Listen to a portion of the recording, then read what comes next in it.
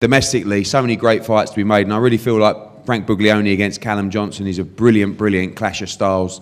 Uh, Frank Buglioni is never, ever uh, in a disappointing fight, working hard with his trainer, Don Charles. Frank, um, a date for you after being on the road down in Cardiff. Great to be on a big show, but great to have your fans back in London as well. Yeah, it's lovely to be back in London. Um, first fight of the year, no uh, cuts and injuries, so I can uh, keep momentum going. And um, yeah, I expect to do a good number on Callum Johnson. And then uh, Hosea Burton, should he want the rematch, happy to take that. And then Anthony Yarde, I'd like to just wipe out the British domestic scene and then move on.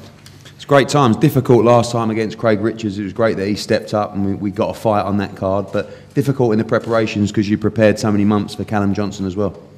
Yeah, Craig Richards is a very good fighter, and uh, he showed a lot of heart that night. And uh, credit to him, and I, I, had a lot of respect for Craig going into the fight, even more coming out after it. And um, I think he'll, he'll do well and he'll, he'll go on to, to achieve big things.